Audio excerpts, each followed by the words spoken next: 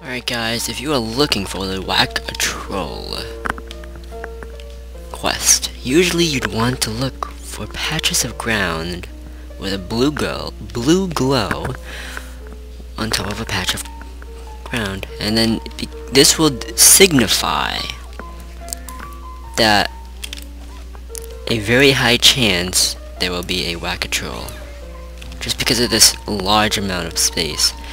And keep in mind, the Whack-A-Troll only needs about this much space. So if you can pinpoint a blue glow, go there, and if the blue glow has around this much space around it, it will be a Whack-A-Troll. I can guarantee you that. It won't, it, right here as well, if there was a blue glow there, there would be a Whack-A-Troll. If there were no trees here and no stone, it would be a Whack-A-Troll you don't find whack-a-trolls in, in, in pitted areas like here.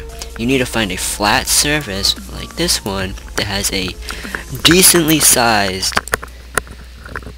area that will that would fit a whack-a-troll spawn. So guys, this will be another whack-a-troll spot. As you can see, the dark patch designates it. Also because you can pretty much guesstimate the uh, overall space that is uh, given to you, or rather provided, for the Whack-A-Troll to come up. So that's how you can find them. You usually they'd be like right here on these dark patches. If this siphon wasn't there, it'd be there. Sometimes they're in this little one zone, and then uh, I also had one up here, I think. Yeah, right? Up. Right over here I had one Dark patch. Just gotta use the eyes, that's all. Alright. My name is Jess. Hope you all have a great day, and I am out. Here's another one. Yep.